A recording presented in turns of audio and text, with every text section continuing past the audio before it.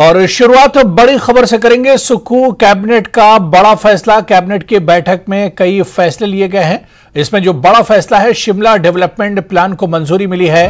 Kangra airport पर भी बड़ा फैसला लिया गया है। भूमि अधिग्रहण के प्रस्ताव को मंजूरी मिली है। सीएम विद्यार्थी प्रोत्साहन योजना को मंजूरी मिली है। गरीब छात्रों को एक प्रतिशत पर मिलेगा एजुकेशन लोन।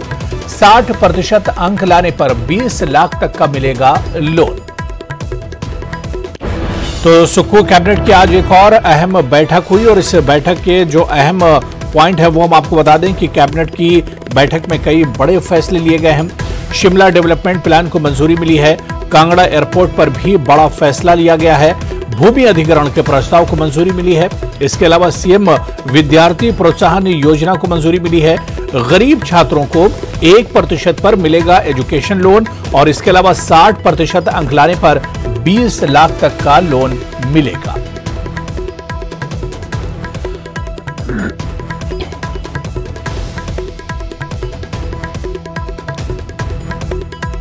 और चलिए, बहुत जल्दी आपको हम बता देते हैं, इस बैठक में जो है, हम फैसले लिए गए।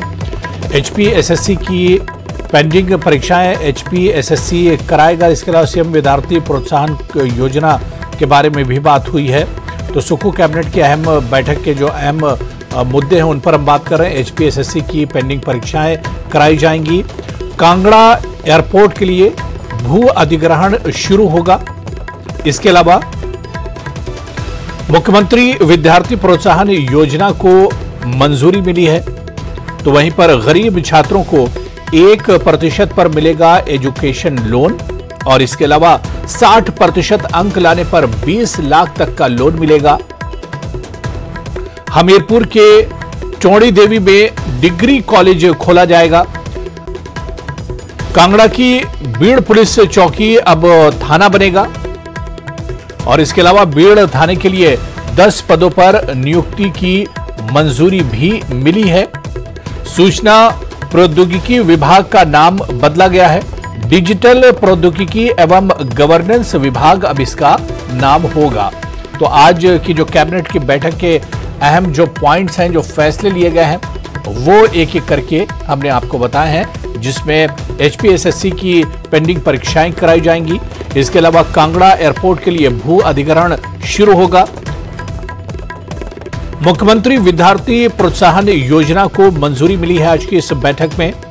इसके अलावा गरीब छात्रों को एक प्रतिशत पर मिलेगा एजुकेशन लोन और वहीं पर 60 परसेंट अंक अगर आप लाते हैं तो 20 लाख तक लोन मिलेगा।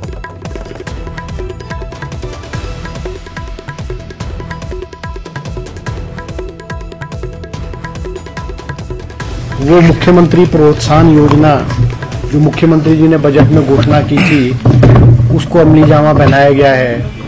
और ये जो स्कीम है वो हिमाचल प्रदेश में जो गरीब बच्चे हैं और वो शिक्षा प्राप्त करना चाहते हैं और उनके पास आय के साधन नहीं है, उनको प्रोत्साहन देने के लिए और उनकी जो प्रोफेशनल डिग्री पूरी हो, उसके लिए ये स्कीम लागू की है, जिसका नाम है मुख्यमंत्री मुख्यमंत्री विद्यार्थी प्रोत्साहन योजना 2023 इसमें आज रूल्स की फॉर्मेशन की गई है, जिसमें जो बच्चा जिसके 60 परसेंट से ज़्यादा मार्क होंगे, वो एलिजिबल होगा। और इसमें जो लोन की राशि होगी, वो 20 लाख रुपए तक लोन जो है, वो मिलेगा। शिमला डेवलपमेंट प्लान है, उसको जो है फाइनलाइज किया गया कैबिनेट ने उसको फाइनलाइज किया है, जिसमें बहुत सारी मोडेलिटीज़ उसमें क्या क्या क्या, कितने फ्लोर किस एरिए में होंगे एक्टिक है, और गैरेजेस का प्रोविज़न है अलग अलग एरियाज़ में कोर है ग्रीन एरिया है और दूसरे एरियाज़ है, उसमें अलग अलग विस्तृत रूप से कैबिनेट में प्रेजेंटेशन जो है टीसीपी डिपार्टमेंट ने रिगार्डिंग शिमला प्लानिंग एरिया दिया है और जिस पर की कैबिनेट ने अपनी जो है, मोर लगाई है। इसके अलावा इसके अलावा जो है वो जो ये बहुत लंबे अरसे से हमीरपुर सबॉर्डिनेट सर्विस बोर्ड के इंटरव्यूज़ लटके हुए थे, उन पे भी आज कैबिनेट ने निर्णय लिया है, जिसमें कि कोड 965 और कोड 1003 और कोड 1036 जिसमें कि तीन सौ अड़सठ थ्री सिक्सटी एट पोस्ट जो है वो जे की हैं, कुछ इसमें तीन सौ पच्चीस जे की हैं। इन सब बच्चों को जो है, वो पब्लिक सर्विस कमीशन दोबारा से इसके इंटरव्यूज़ कंडक्ट करेगा, क्योंकि इनमें सिर्फ़ एडवर्टीजमेंट हुई थी एग्ज़ाम रिटर्न एग्ज़ाम नहीं हुए थे। हमीरपुर के टोनी देवी टोनी देवी में डिग्री कॉलेज को खोलने की जो है, वो आज कैबिनेट ने अनुमति प्रदान की है। और इसके अलावा कैबिनेट ने जो है, वो आईटी डिपार्टमेंट का नाम चेंज करके department of digital technologies and governance जो है उसको नाम किया है और उसमें जो रूल्स ऑफ़ बिज़नेस हैं वो भी आज जो है वो फॉर्मुलेट किए गए हैं। इसके अलावा जो है जो ये वाइल्ड फ्लावर हॉल वाली प्रॉपर्टी है, जो डिस्प्यूट चला हुआ था ये इनके जो ओबराय ग्रुप के साथ, इसमें भी जो है इम्प्लीमेंटेशन ऑफ़ आर्बिट्रेटर अवार्ड तेईस तेईस जुलाई 2005 रेंडर्ड बाय द आर्बिट्रेटर उसमें भी जो है वो 18 परसेंट एक्यूमुलेटिव इंटरेस्ट के आधार पे जो है उसको ईस्ट इंडिया कंपनी जो ये होटल्स वाले इनको दिया है कि भाई हमारे को जो है वो, जो हमारा पैसा स्टेट का बनता है, उसको जो है उसको किया जाए।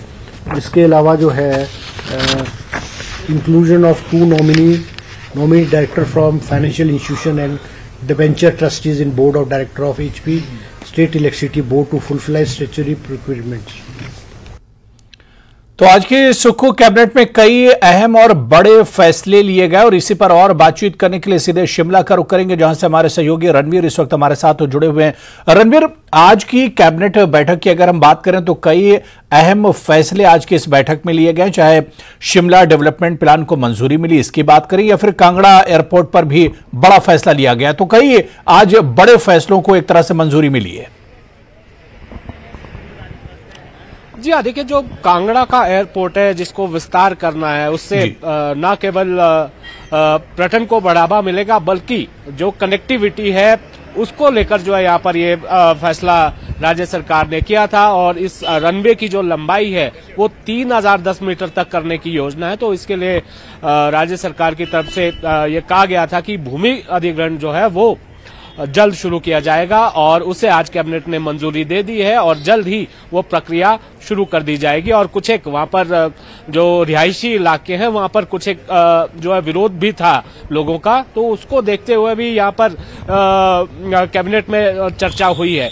और यहाँ पर देखना होगा कि अब कितनी जल्दी ये भूमि अधिग्रहण जो है शुरू होने वाला है। और बड़ी जो खास बात इसमें ये है आज की जो कैबिनेट की बैठक थी जो मुख्यमंत्री की जो बजट अनाउंसमेंट्स हैं उनको कैबिनेट ने मंजूरी यहाँ पर दी है। और एक और महत्वपूर्ण खबर यह कि जो एसएमसी शिक्षक हैं और जो कंप्यूटर टीचर्स हैं वो लगातार मांग कर रहे थे कि उनके लिए जो एक स्थायी नीति का निर्माण किया जाना चाहिए। तो उसको लेकर एक कैबिनेट सब कमेटी बनाई गई है जिसमें शिक्षा मंत्री इसकी अध्यक्ष कर, अध्यक्षता करेंगे और कैबिनेट मंत्री अनिरुद्ध सिंह इस समिति में है और विक्रमादित्य सिंह इसमें है। तो यहाँ पर यह भी देखना होगा कि इन शिक्षकों के लिए किस तरह की पॉलिसी लाई जाएगी। बड़ी और अहम बात इसमें यह है कि आज की जो कैबिनेट बैठक है जो गरीब तबका है गरीब वर्ग का जो छात्र है उसे जो अपनी प्रोफेशनल डिग्री है उसको पूरा करने के लिए यहाँ पर जो घोषणा बजट में मुख्यमंत्री ने की थी उसे कैबिनेट ने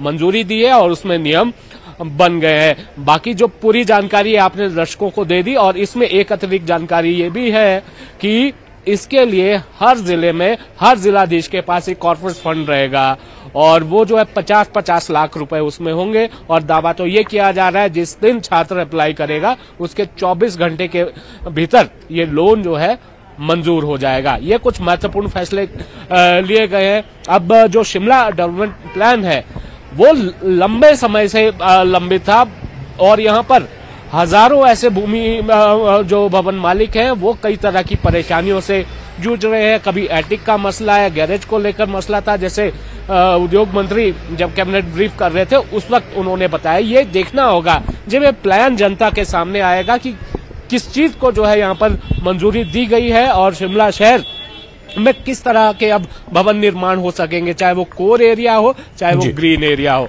तो हम्म। कुछ और भी महत्वपूर्ण फैसले जो है राज्य सरकार ने सुखू कैबिनेट ने लिए हैं। जी। बिल्कुल रणवीर, जिस तरह से आपने बताया कि एजुकेशन पे गवर्नमेंट का बहुत ज़्यादा फोकस है, ख़ासतौर से जो गरीब छात्र हैं, गरीब फैमिलियों से आते हैं, उन पर एक तरह से सरकार मेहरबान दिख रही है। और इसके अलावा रणवीर जिस तरह से हमीरपुर में डिग्री कॉलेज खोलने का एक बड़ा फैसला लिया है तो पिछले दिनों आपने देखा था सरकार ने कई संस्थान बंद किए, कई स्कूल, कई कॉलेजों पे एक तरह से ताले चढ़ गए, लेकिन अब हमीरपुर में एक कॉलेज खोलने का भी ऐलान किया गया है। जी हाँ टॉनी देवी में ये डिग्री कॉलेज खुलेगा और मुख्यमंत्री का गृह जिला है शायद वहाँ से मांग भी होगी तो वो फैसला यहाँ पर आ, किया गया है। और जहाँ तक शिक्षा की बात है शिक्षा विभाग से जुड़े कुछ और मसले भी थे जिनकी जानकारी अभी तक नि, निकल कर नहीं आई है। शिक्षा मंत्री ने बताया था कि पाँच छह उनकी भी कोई आ, जो है आ, जो एजेंडा थे सप्लीमेंट्री एजेंडा थे आ, उनको जो है शामिल किया गया था उस पर चर्चा हुई है नहीं हुई है।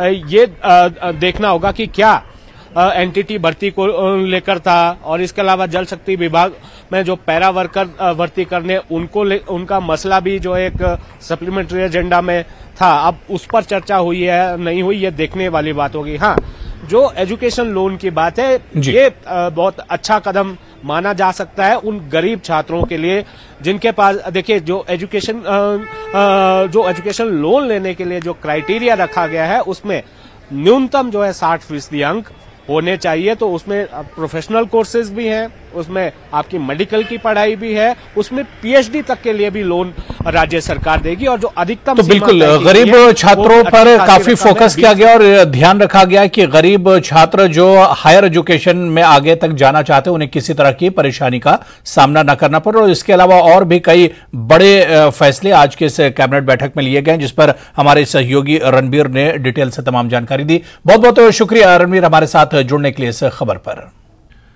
और चलिए ब्रेक के बाद आगे बढ़ेंगे। एक और बड़ी खबर बिलासपुर से खबर आ रही है, जहाँ हम आपको बता दें कि बिलासपुर एम्स से बेहद हैरान करने वाली खबर सामने आई है। अस्पताल में तैनात एक महिला सुरक्षाकर्मी ने यौन शोषण का आरोप लगाया है। यौन शोषण का आरोप अस्पताल की सुरक्षा का जिम्मा संभाल रहे। प्राइवेट सिक्योरिटी एजेंसी के सुपरवाइजर पर है। महिला का आरोप है कि सुभाष शर्मा नाम का सुपरवाइजर महिला सुरक्षा कर्मियों का यौन शोषण करता है। उसने मुझसे भी सेक्सुअल फेवर की डिमांड की, जिसे मना करने पर परेशान करने लगा। करीब चार महिला सुरक्षा कर्मियों की शिकायत पर कंपनी ने आरोपी को नौकरी से निकाल दिया था, लेकिन उसे फिर से बहाल कर दिया गया। जिसके बाद अब आरोपी सुपरवाइजर ने अपने खिलाफ शिकायत करने वाली महिला सुरक्षाकर्मी का तबादला बिलासपुर से बदली कर दिया है। जिसके बाद महिला ने जन प्रतिनिधियों से मिलकर इंसाफ की गुहार लगाई है। महिला ने आरोपी का एक ऑडियो भी जारी किया है, जिसमें वो महिला सुरक्षा कर्मी से सेक्सुअल फेवर की डिमांड कर रहा है। मामला सामने आने के साथ ही स्थानीय जनप्रतिनिधियों ने सख्त कार्रवाई करने की मांग की है। जो एम्स है, वो मेरी ही पंचायत में पड़ता है और औरतों के प्रति जो वहाँ पे अत्याचार हो रहा है उसके लिए मैं सरकार से गुहार लगाती हूँ कि ऐसे हमारी महिलाएँ कैसे सुरक्षित रहेंगी। जब इसके ऊपर कोई कड़ी कार्रवाई नहीं होगी तो मेरी सरकार से यही मांग रहेगी कि महिला को जहाँ तक हो सके, मेरे को हर महिला सुरक्षित चाहिए। मेरी पंचायत एम्स है। एम्स के कारण मेरी कोई भी महिला के साथ ऐसा दुर्व्यवहार नहीं होना चाहिए। तो मेरी सरकार से यही उम्मीद है कि जल्दी से जल्दी इस मामले पर कड़ी से कड़ी कार्रवाई की जाए। एम्स का जितना भी प्रोजेक्ट है, वो टोटल राजपुरा पंचायत के उसमें इसका निर्माण हुआ है।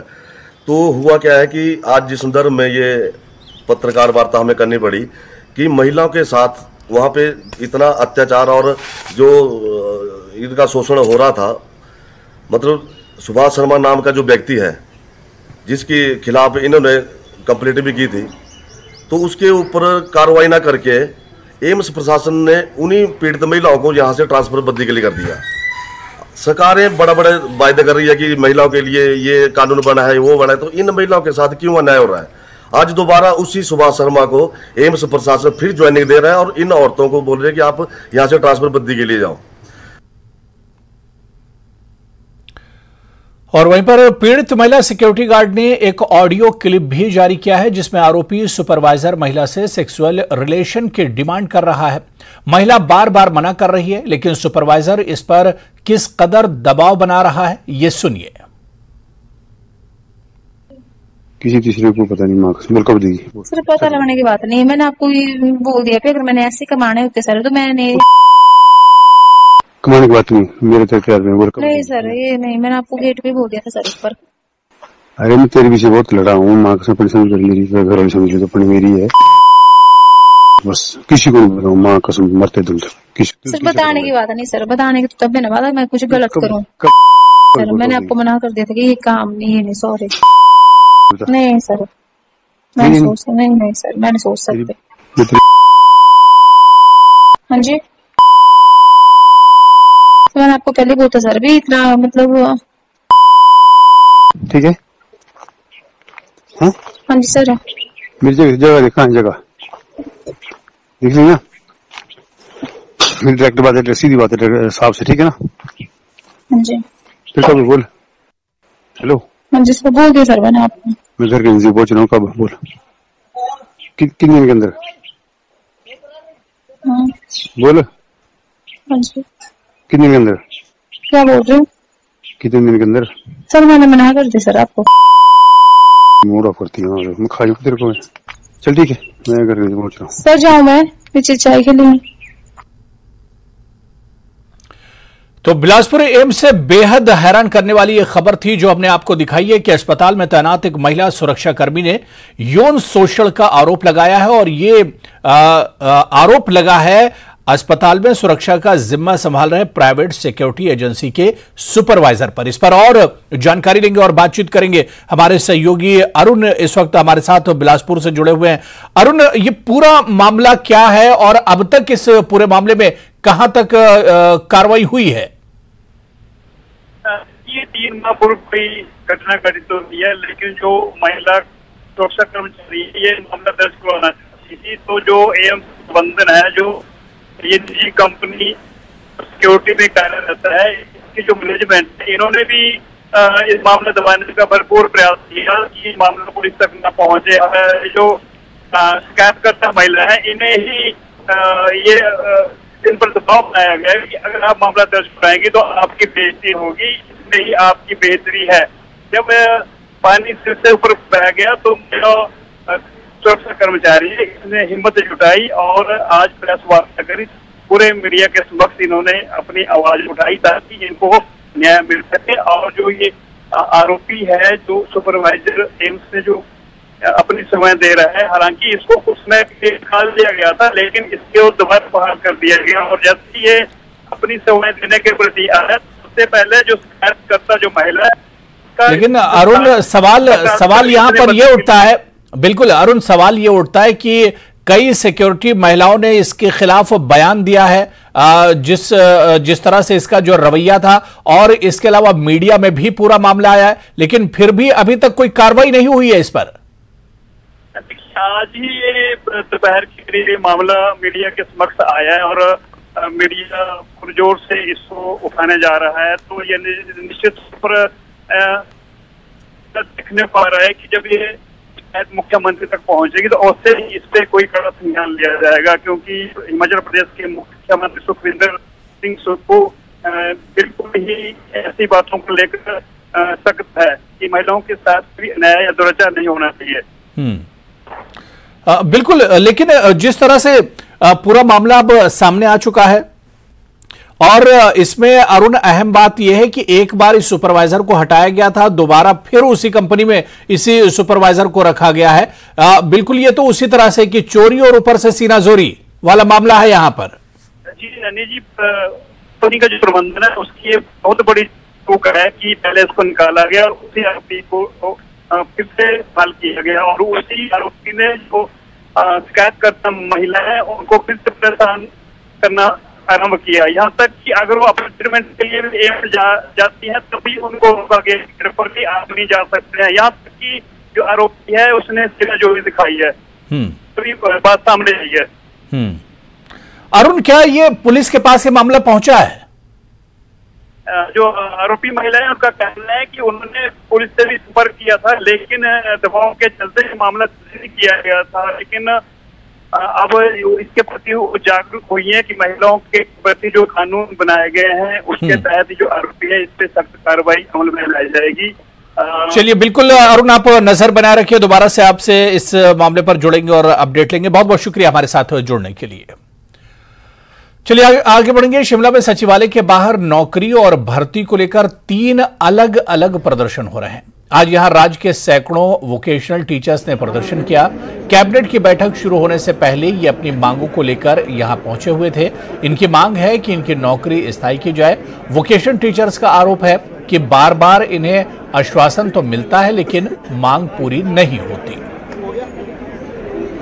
हम इस वक्त प्रदेश सचिवालय के बाहर मौजूद हैं और अंदर कुछ क्षणों में कैबिनेट की बैठक शुरू होने वाली है, लेकिन कैबिनेट की बैठक से बाहर जो नज़ारा है, वो कुछ और ही है। वो माहौल जो प्रदेश सरकार के चार साल के कार्यकाल के बाद होता था, वो अभी नज़र आ रहा है। बड़ी संख्या में इस वक्त हमारे समक्ष मौजूद हैं वोकेशनल टीचर्स और ये अपनी मांगों को लेकर यहाँ पर पहुँचे हैं। अब इनसे बात करेंगे क्या इनकी डिमांड्स हैं और क्यों ये यहाँ पर इतनी बड़ी संख्या में पहुँचे हैं। मैम क्या डिमांड्स आपकी हैं? सर हमारे लिए स्थायी पॉलिसी बनाए सरकार। यही डिमांड लेकर हम आए हैं। स्थायी पॉलिसी की मांग कर रहे हैं जो मुख्य मांग है वो यही है। कितने के करीब teachers vocational teachers Himachal Pradesh में है? क्या रोल इम्पोर्टेंट आपका स्कूलों में है? और कब से लेकर अपनी डिमांड्स को लेकर प्रदेश सरकार के समक्ष आते हैं? बताना चाहूँगी पूरे हिमाचल में लगभग 2200 टीचर्स हम हैं और वोकेशनल ट्रेनर्स हम हैं और स्कूल में जैसे बाकी टीचर्स काम करते हैं सेम हम भी वैसे ही करते हैं लेकिन आ, हमें कंपनी के अंडर कंसीडर किया जाता है काम हमसे सारा लिया जाता है लेकिन ना हमारी कोई सैलरी में इंक्रीमेंट है और ना हमारी साइड गवर्नमेंट का कोई अप्रूवल है। और बताना चाहिए लगभग 2013 से हम सब वर्किंग में हैं और हमें बस यही मुख्यमंत्री जी से आस्था है कि वो हमारे लिए स्थायी पॉलिसी बनाए।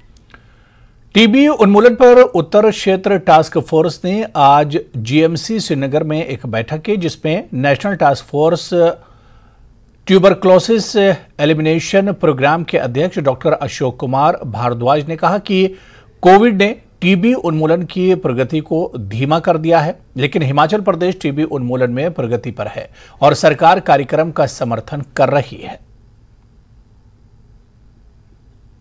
अब हम कहेंगे कि मैं जाके, क्योंकि मैं हिमाचल के हमारे एस साहब भी आए मैं वहाँ का state task force chairman national का तो वही हूँ, मैंने हिमाचल छोड़ा नहीं अब तक, ठीक है ना? तो मैंने जो तीन जिलों में बात किया है तो मैं अपने हर डिस्ट्रिक्ट में अब जाऊँगा। तो हम ये क्योंकि एक जिला तो हमारा बिल्कुल साथ लगता है। लाहौल स्पीति ट्राइबल पॉपुलेशन है अठाई हज़ार की पॉपुलेशन है। वो भी कुल्लू में रहती है। ठीक है ना? तो मैं मैं ये भाग्यशाली हूँ कि मैं यहाँ तीन ज़िले देखे मेरे को मौका मिला और मैं मॉडल जो है ना अपने स्टेट में इसको इम्प्लीमेंट करूँगा पूरी कंट्री में करने की कोशिश करूँगा। अभी क्या स्टेटस है हिमाचल हिमाचल भी हम हम अगर कहेंगे पूरी स्टेट तो हम अनऑफिशियली सिल्वर के सिल्वर मेडल के बारे में हैं। तो हमारे चार ज़िले ऐसे हैं जो है नहीं केस वहाँ। और कुछ प्रॉब्लम क्योंकि हमारा ऐसे होता है ना टारगेट जो दिया हमको पूरा करने की कोशिश करते हैं। अगर टारगेट पूरा करने की कोशिश करेंगे तो हमारी डिक्लाइन नहीं होगा फिर। तो है ना तो हम एक्चुअली हम ज़्यादा मेडल को नहीं जा रहे हैं मेडल की तरफ़। हम एक्चुअल में फ़ील्ड लेवल के ऊपर हमारे में तो जो एक्टिविटी हम करते हैं वो कंट्री में नहीं होती है। हम डिस्ट्रिक्ट में पूरा दिन का रिव्यू करते हैं ब्लॉक पे पूरा दिन का टीवी का रिव्यू करते हैं ठीक है ना? और सबसे बड़ी प्रॉब्लम सबसे बड़ा जो हमारा प्लस पॉइंट है हमारी स्टेट अपने स्टेट बजट में से ढाई तीन करोड़ रुपए हर साल टीवी के लिए देती है। किसी पूरी कंट्री में बत्तीस की बत्तीस स्टेटों में कहीं नहीं है जी। सिर्फ़ हिमाचल देते हैं अपने स्टेट बजट से पैसा। हालाँकि हम गरीब स्टेट हैं अमीर नहीं है पर फिर भी स्टेट जो है ना साढ़े तीन से चार लाख रुपए प्रोग्राम। स्वागत है आपका न्यूज़ जम्मू कश्मीर लद्दाख